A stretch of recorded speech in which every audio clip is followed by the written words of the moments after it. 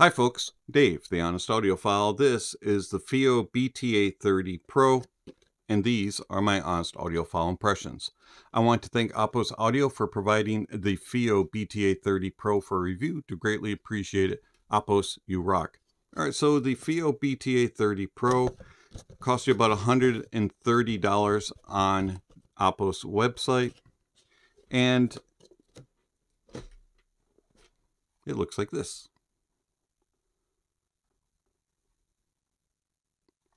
More about that in a moment. You do get some accessories.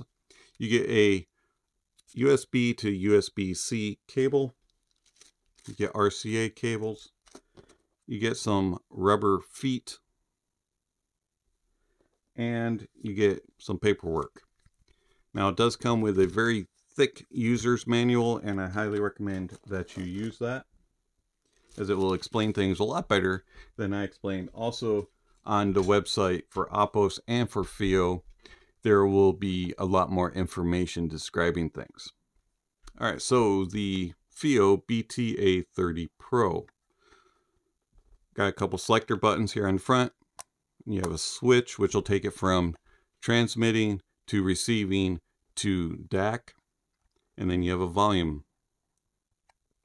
On the back side, you have your Bluetooth antenna, USB-C optical in and out, coax in and out, and RCA out. The FiiO BTA30 Pro, this uses Bluetooth 5.0, has a Bluetooth chip of CSR 8675. It will transmit and receive SBC, AAC, aptX, aptX HD, and LDAC does have a DSP chip in it, and that is a CT7302. It has a DAC chip, which is a Sabre ES9038Q2M. It will decode using optical. It will decode 2496.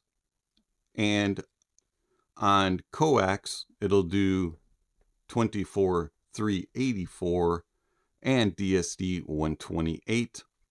And then with USB, it'll do 32 384 and DSD 256. Inputs are Bluetooth, USB-C, optical, and coax. Outputs are Bluetooth, RCA, optical, and coax. And it has an SNR of about 118 decibels overall, I find that it's very small, very light, weighs about five grams. It's somewhere in about the five by two by one inch size bracket and won't take up much space. In RX mode or receiving mode, you can connect your uh, phone or music player and it'll then you can uh, use it to connect to any of your non-Bluetooth devices through any of the outputs on the back. In TX mode, which is a transmitting mode, you can take any of the digital inputs, which are optical or coax or USB-C, and transmit Bluetooth out. And then in the DAC mode or decoding mode, you can take your USB-C optical or coax and use it as a DAC and then RCA it out. And I find that overall, the FiiO offers a whole lot of options for a small package. But how does the FiiO BTA30 Pro sound?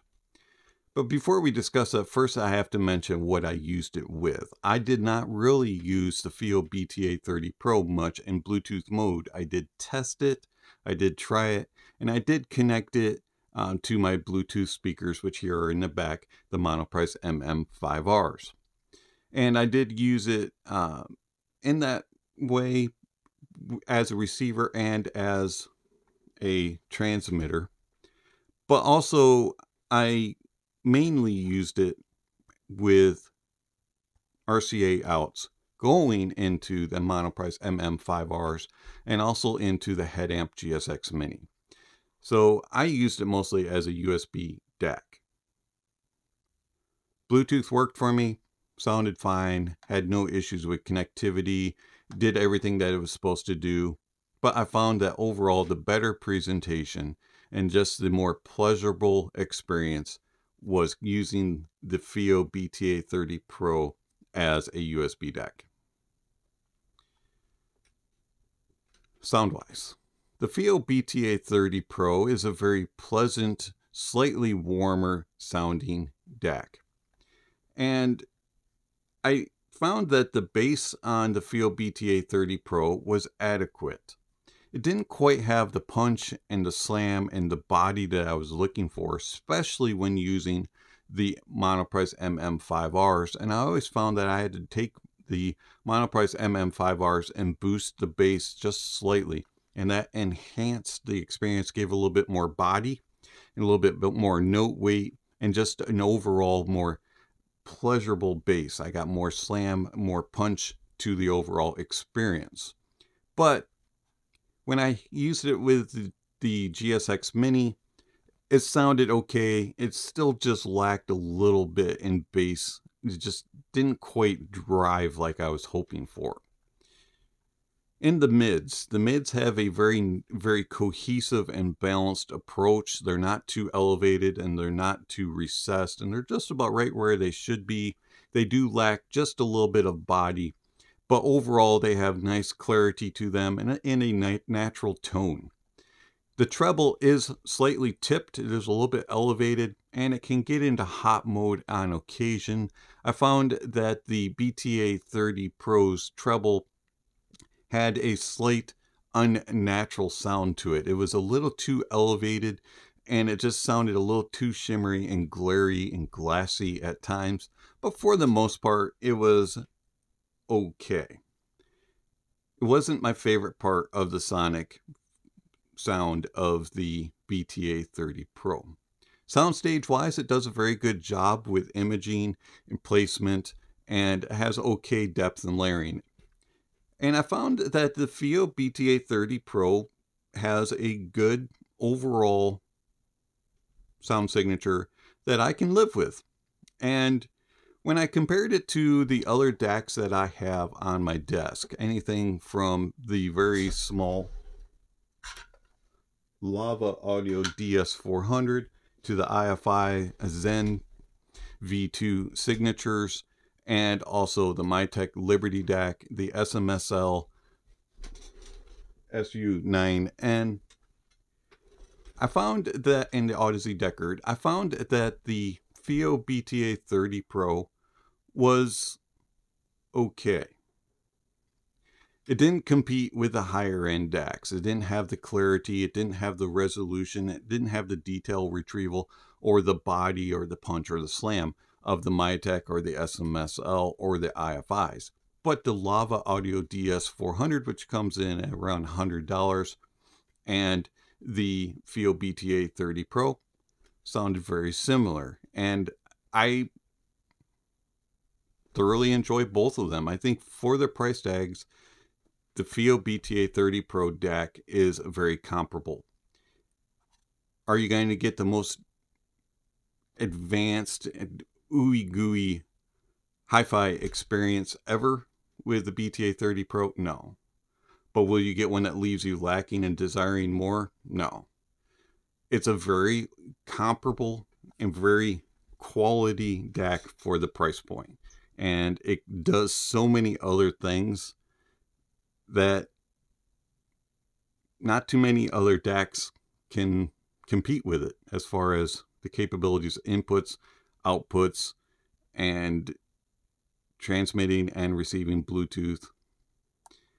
I find that the FiiO BTA 30 Pro is a very good DAC and a Bluetooth experience that kind of changed my mind into thinking I might be able to use Bluetooth at my desk more often than I currently do.